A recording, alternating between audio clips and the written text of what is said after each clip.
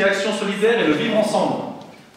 Donc là, Lydie, Isabelle et Frédéric vont vous en parler. Bonsoir. Bonsoir. Ça change. Alors effectivement, on nous a donné un tout petit thème à, travailler hein, sur euh, la solidarité, le vivre ensemble et, la santé. Euh, vous voyez bien que c'est quand même un, thème très très vaste. On a choisi trois angles d'attaque. Euh, une première volonté, c'est de favoriser l'accès au droit. Une deuxième va être un petit peu autour du vivre ensemble, mais sous l'angle de l'habitat. Et puis troisième qu'on va développer, c'est autour de favoriser l'accès aux soins. Alors, pour euh, le premier point, donc, à savoir favoriser l'accès aux droits de toutes les personnes habitant euh, sur la commune, on est parti de certains constats. Hein. Des constats qui ne sont pas forcément propres d'ailleurs à notre commune, mais qui se vivent aussi sur notre commune. Alors, par exemple, bah, les services qui s'éloignent. Aujourd'hui, si vous voulez euh, faire une démarche administrative quelle qu'elle soit, vous devez aller sur, sur La Roche-sur-Yon c'est peut-être pas forcément loin, mais ça peut paraître loin quand on a quelques difficultés pour se, pour se déplacer. Il faut trouver à se garer éventuellement. Des délais qui s'allongent aussi, hein, pour prendre des rendez-vous. Aujourd'hui, voilà, c'est de, plus en plus, euh, de plus en plus long. Des démarches qui se compliquent aussi.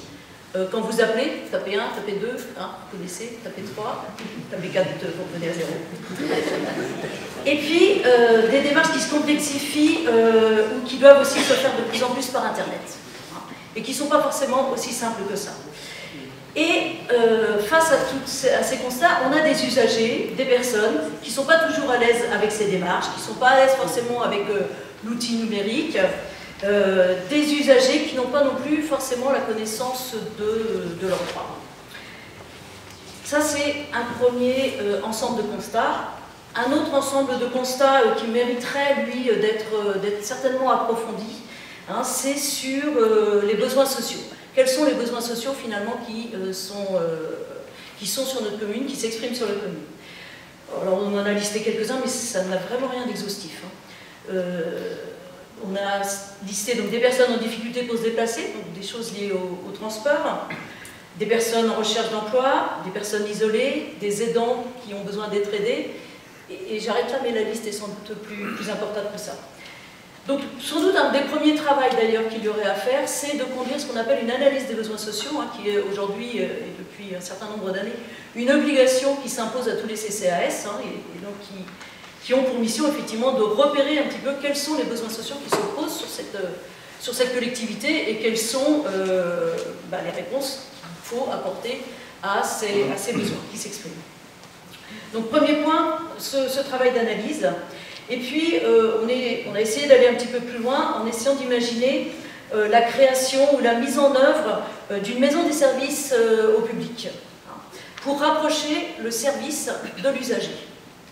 Alors, les missions de base des, maisons de services au public aujourd'hui, il y en a quatre. la première mission, c'est l'accueil, l'information, l'orientation.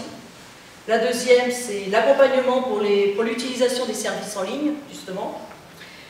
Euh, la troisième mission, c'est la facilitation administrative, c'est euh, accompagner les gens à comprendre les documents, euh, à constituer des dossiers quand il y a des dossiers à, constituer. Et la dernière mission, c'est faciliter la mise en relation entre la personne et le service, éventuellement aider à la prise de rendez-vous, etc. La maison des services, c'est effectivement un outil à, à disposition, à dire, des, habitants, mais ce n'est pas un outil pour faire à la place d'eux. C'est vraiment un outil pour accompagner les personnes dans une démarche vers plus d'autonomie. Donc voilà pour ce, registre de, l'accès au droit. Je vais passer la parole à Lydie qui va aller sur le versant de. Donc, le versant du logement, donc il existe une réelle difficulté pour se loger sur Renonceau notamment pour les jeunes, les nouveaux arrivants, les jeunes, les personnes seules ou les personnes aux revenus modestes. Donc il y a euh, effectivement des logements sociaux, donc il semblerait être autour de 6% en janvier 2018, alors qu'il y a une, règle qui établit autour de 20% dans les communes de plus de 3500 habitants. Donc effectivement, il y aurait beaucoup de, logements à développer. Euh, donc l'objectif serait de proposer effectivement de développer des logements sociaux pour aller vers cette norme. Et nous souhaitons donc que tout projet immobilier puisse répondre aux trois critères suivants. Donc de favoriser la mixité des locataires avec les propriétaires pour favoriser ben, le, vivre ensemble de toutes les personnes, la mixité sociale et euh, la mixité intergénérationnelle, avec euh, ben, de l'habitat inclusif qui puisse être adapté pour les personnes âgées ou les personnes handicapées, euh, pour tout ça pour encourager les solidarités, le vivre ensemble dans un, espace convivial et adapté.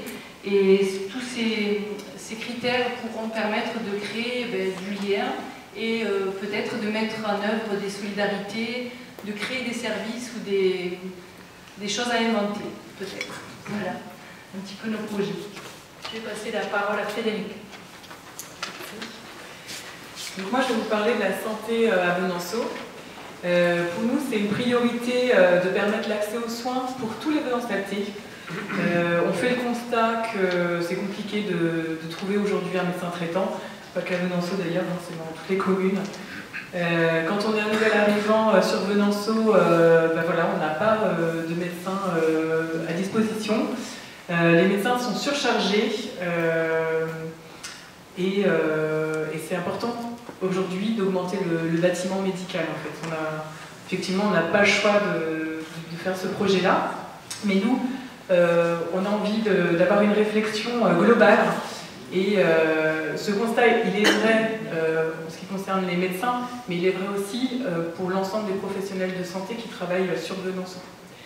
Et nous pensons qu'il est important qu'on travaille sur deux axes, c'est-à-dire faire, comme l'a dit Isabelle, un recueil des besoins en termes de santé pour l'ensemble de la population de, de Venançon et de travailler avec les professionnels de santé parce que certainement aussi leurs solutions, ils ont certainement des solutions à apporter, et ensemble on peut trouver les solutions les plus adéquates.